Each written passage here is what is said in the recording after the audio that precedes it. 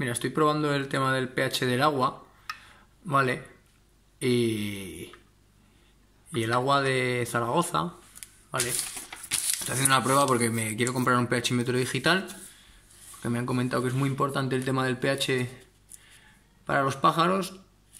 Y si comparamos el, el pH del agua, pues veríamos que estamos en un color muy verde. No sé si, bueno, igual es más entre este y este. ¿Vale? La prueba se hace con, con 5 mililitros. Con 5 mililitros, con 4 gotas de, de este...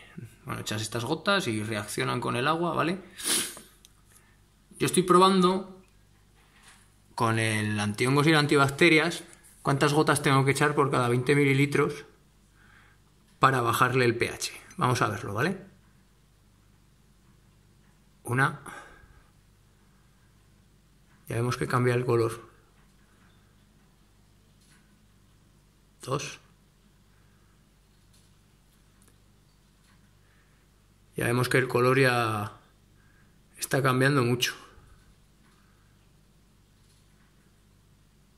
Tres.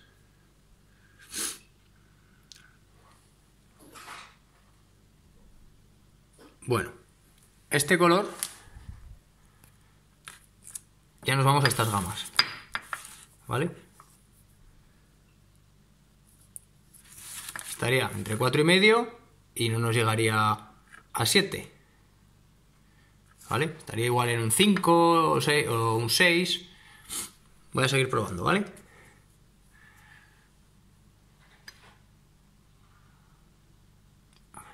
Cuatro gotas.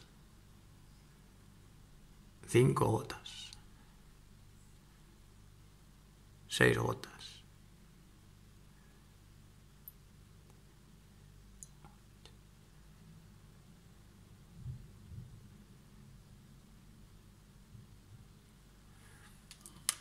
Once gotas. A ver, el, el, el, teléfono sube mucho los tonos, ¿eh? Pero yo creo que ya estaríamos. Ya estaríamos ahí. Ya estaríamos ahí. Estaríamos a un cuatro y medio. A este pH